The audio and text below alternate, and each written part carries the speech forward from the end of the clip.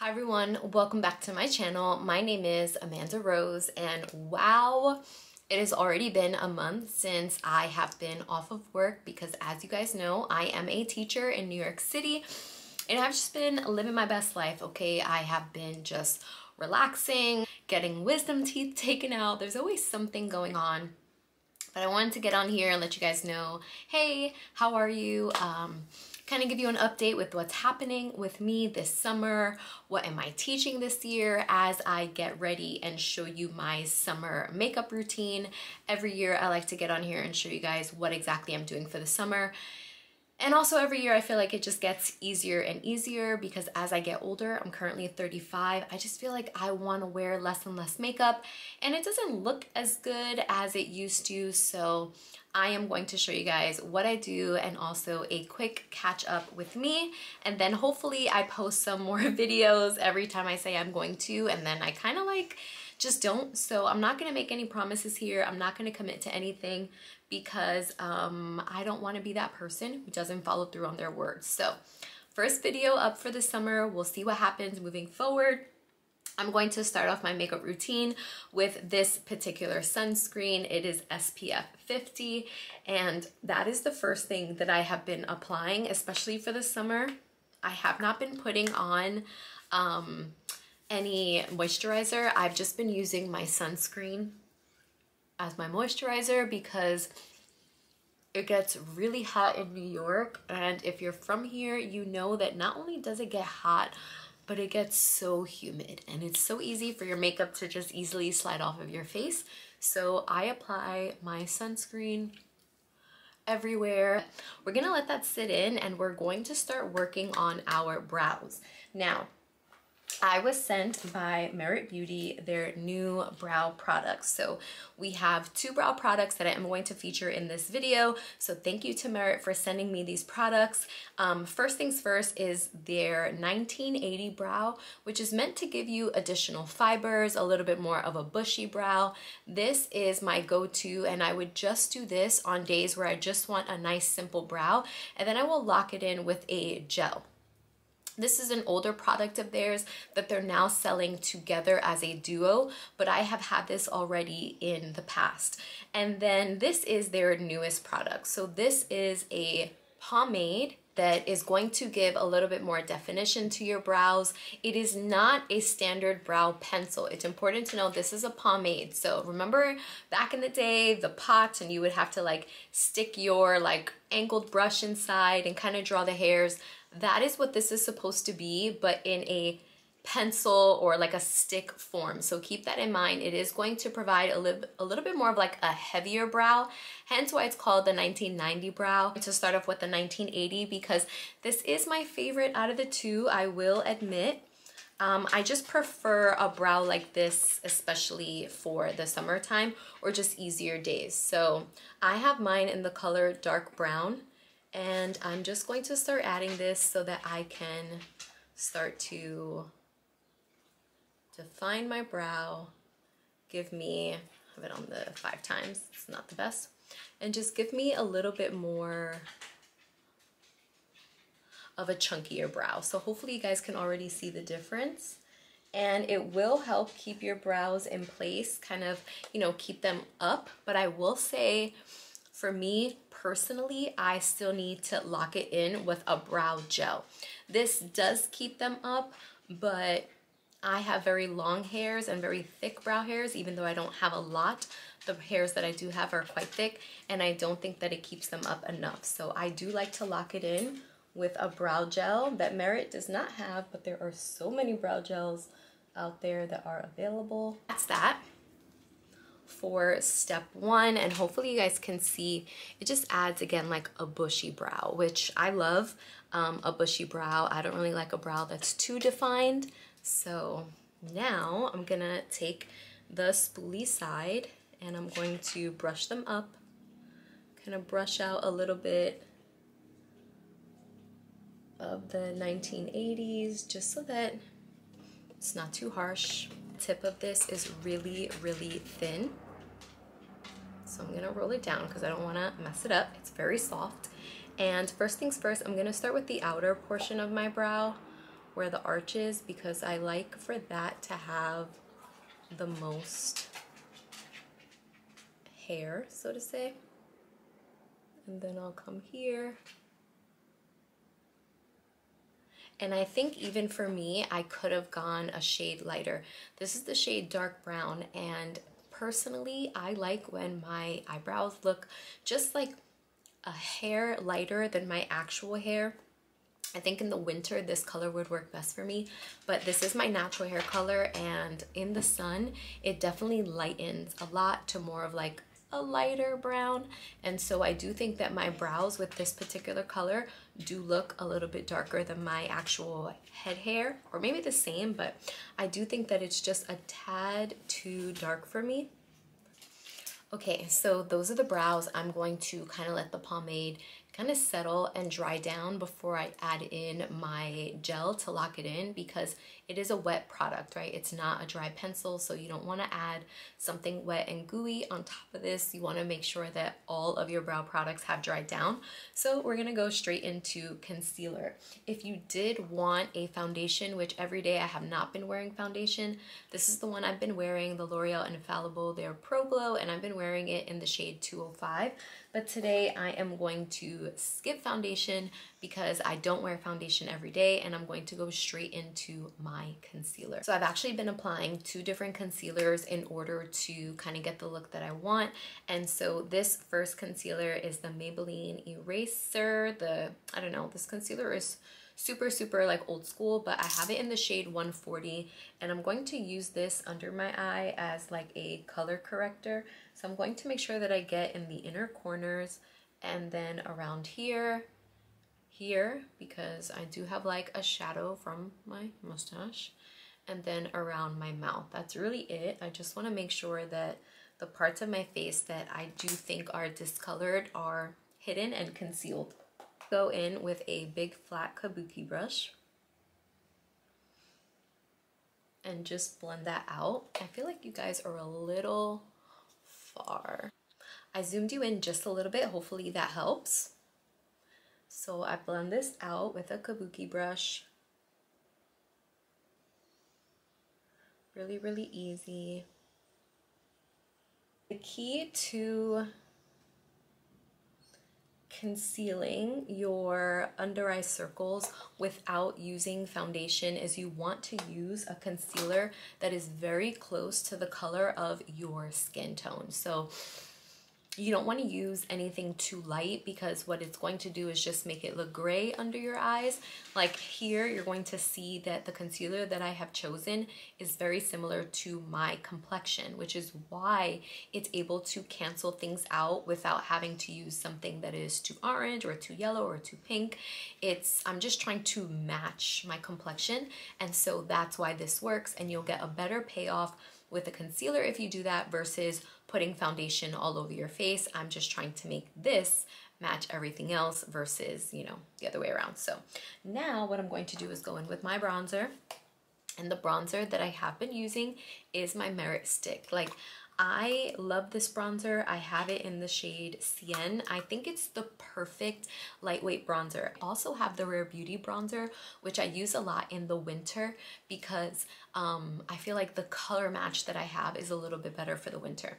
But I've been using this for the summer and I think that it it it does what I need, right? It gives me that lightweight. You can use as much of it as you want and it's not gonna look heavy.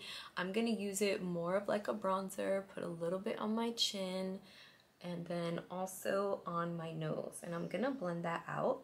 All right, let's go in and blend.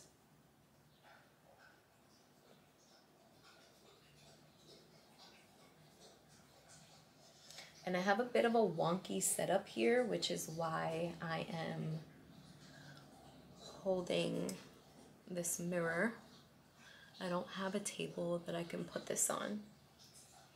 So I'm kind of doing everything with one hand here in hopes that it will work.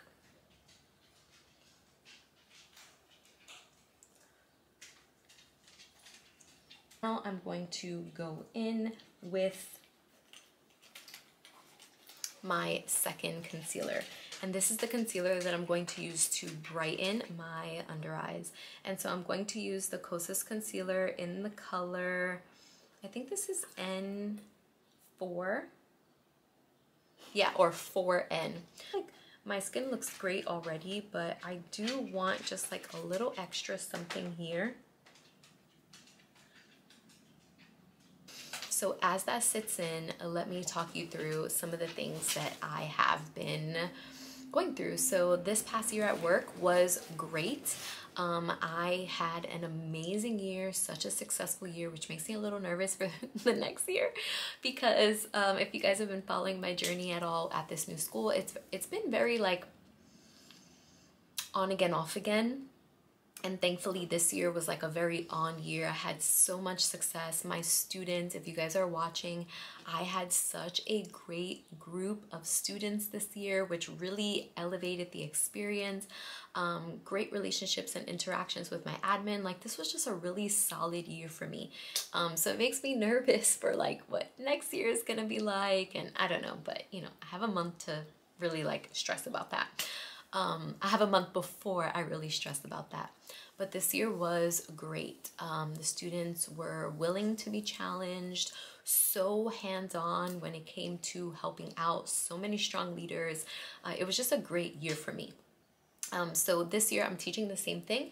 I have four sections of sixth grade global and one section of ninth grade global. So if you guys don't know already, my school is a middle and high school together. So we share grades. So I have four group, four classes for sixth grade and one class for ninth grade. Um, and that's what I taught last year. So I'm glad that I have the same thing again so that I can continue to hone in on my skills and I'm using the Angie Hot Flashy, Hot and Flashy brush that was like super viral. Um, it is a great brush, but sometimes I'm not gonna lie, I do like to go in with a sponge even after if I feel like I haven't really gotten into like every line and crease. So we'll see. But right now I'm blending that out. And if you notice, I'm not going like completely under my eye. I'm kind of like going under here, like where my eye kind of has like that natural crease. Because I find that sometimes when I go directly up, especially if I'm doing like a natural makeup look, it just looks heavy. So I'm just kind of following this and if any kind of goes up, into that area, then fine, but I'm not like purposefully blending it in there. Okay, so these are the three brushes, the three blushes that I've had on rotation. One, it's the Maybelline Cheek Heat. Been wearing the Maybelline Cheek Heat. I believe that this is like a berry color. It's like berry something. I'll make sure that I put it in the description. This is my go-to. I love this. And then of course, I always talk about the Merit blushes, but I just love them. This one in particular, Raspberry Beret, I wear all the time when I want to look like I've really been in the sun. And then when I want something a little bit more girly and something a little bit more like fresh, then I will put on Stockholm. So I'm actually going to show you guys what I normally do. If I wear Stockholm, then I actually pair it with this L'Oreal True Match blush in C34. So this, this is like usually my combination. If I want something like peachy and lightweight, this is the combo that I will do. Um, but for today, which has really been my go-to, I'm gonna do this berry one. And then also I have been obsessed with the Essence blushes and this one is in Berry Cheek. So I think they both have like some type of berry name and this is the combo that I'm gonna put together. So let's put this on. The only thing I don't like about this blush is that you have to like put it on your hand first and sometimes I don't want to get all like messy and that's kind of why I like the Merit ones because you can literally just swipe it on directly from there and it's never too much like it's lightweight enough. But if I'm being completely transparent this is the color that I've been wearing most often so that's the color I'm going to show you. So I'm going to take it rub it around I might need a little more and then we're gonna go directly in and apply.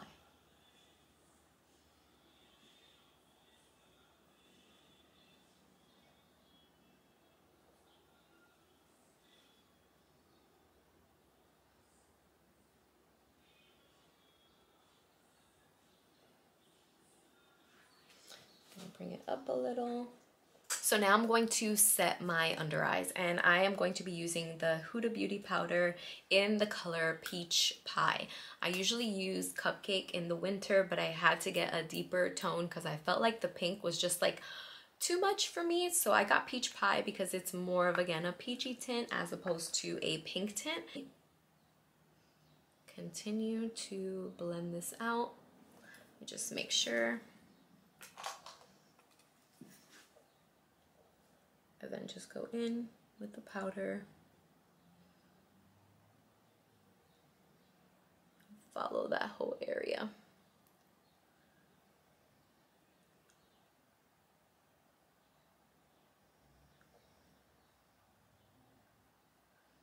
A little bit in the center. I'm going to set my entire face. Like even though all I have is the concealer and a little bit of the blush and bronzer, I think that because I added the sunscreen, my face is just naturally going to get oily and greasy and so I am going to powder the entire thing. So I'm going to use this Sephora powder in the color 25 Beige. It's their micro smoothing powder. It looks a little light but I feel like on the face it ends up evening out just use a big fluffy brush and I'm going to literally put this everywhere over my cheeks so that when I put my powder blush, everything all blends together.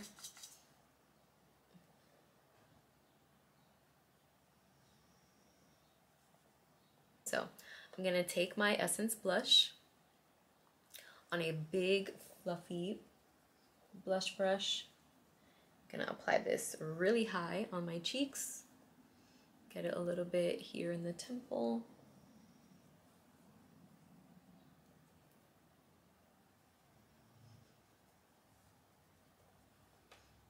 And that's how I like to really just apply my brush. It looks so pretty. I'm gonna do a little bit more because it is a fluffy brush. Again, it's harder to kind of like mess up and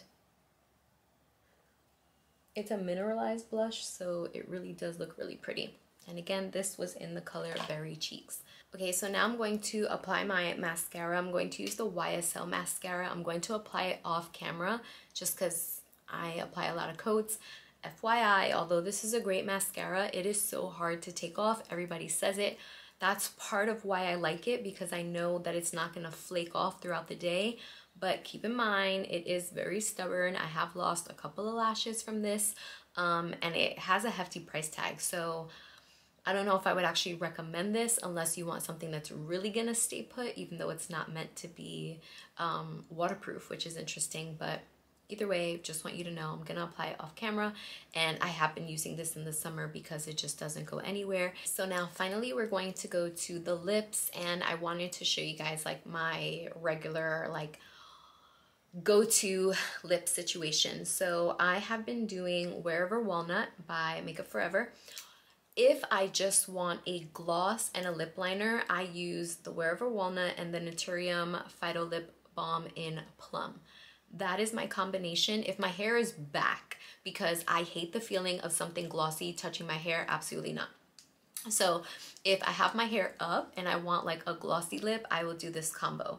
If it's down, because I am going to take out my hair clip for today, I will then use this Maybelline lip and it's like a matte lip in the color More Mauve 5.99. So I'm going to actually do this because this is the combo that I would normally put. Even though my hair is back, it's not staying this way and I would use this instead. So I'm going to apply lip liner very messily and then I'll go over it with that lip.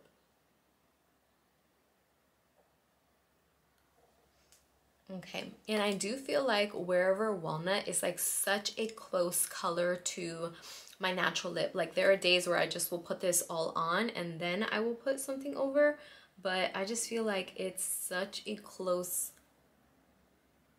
match with my finger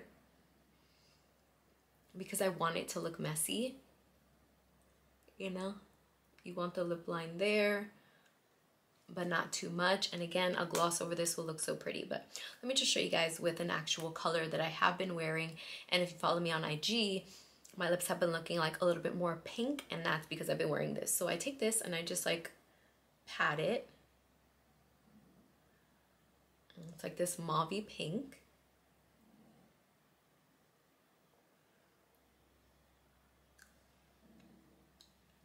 And that's that. Like this is my lip combo. This is what I've been wearing every day. I did get a color analysis done. Maybe I could do a separate video on that. And this is why I've done more of the pinks. I feel like in the past I would do more like peaches and just like colors that were more nude. And when I look back at my videos every time I did like a nude lip or something that was very very bronzy it completely washed me out. So this also is because of my color analysis that I can go with like deeper tones, more pinks, and that a pink actually looks a little bit more like my nude as opposed to if I wore a nude. Now, yes, I can lighten this up with a nude in the center, but I still need like the depth and the darkness. Um, I was actually color analyzed as a deep winter. So if you know anything about that stuff, I'm a deep winter. Um, but yeah, so this is my summer everyday makeup. No foundation. Took a little bit longer. Obviously, every time we're filming, it takes longer, but this is my everyday makeup look. And um, it was so easy to do, minimal products and that's pretty much it. So i am going to be posting giving you a little bit more teacher content. I know some of you have already started teaching so those videos will be coming very very soon. But if anything, if not, because who knows, I hope that you all have a great summer and that you have a great start to your year teaching and I will see you all in the next video.